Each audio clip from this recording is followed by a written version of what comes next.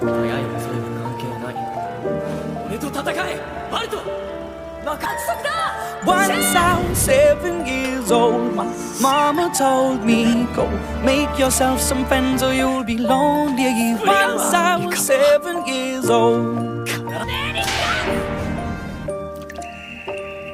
本当に It was a big, big world, but we thought we were bigger. Pushing each other to the limits, we were learning quicker. By 11, smoking herb and drinking burning liquor. Never rich, so we were out to make that steady figure. Once I was 11 years old, my daddy told me, Go get yourself a